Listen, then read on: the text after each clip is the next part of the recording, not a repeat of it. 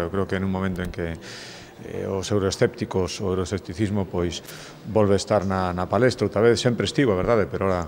eh, con todo relacionado con Inglaterra e eh, a súa postura e eh, todo o que estamos vendo creo que máis que nunca hai que volver a falar da utilidade de Europa que para Galicia é indudable creo que moitísimas cousas das que ahora podemos disfrutar e das que imos disfrutar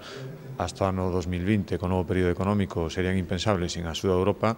Pero é certo tamén que hai que facer un esforzo por, primeiro, aproveitar todos os recursos que non chegan de Europa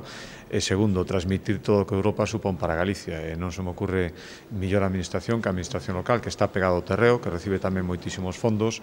que pode facer moitas actuacións que os veciños e as veciñas perciben directamente para ser os primeiros en explicar cal é a utilidade desta Unión Europea que, que supón para Galicia esta Unión Europea e que papel pode eh, xogar Galicia na construción de Europa. Por lo tanto, de todo iso imos falar agora, e eu agradezo moito o interés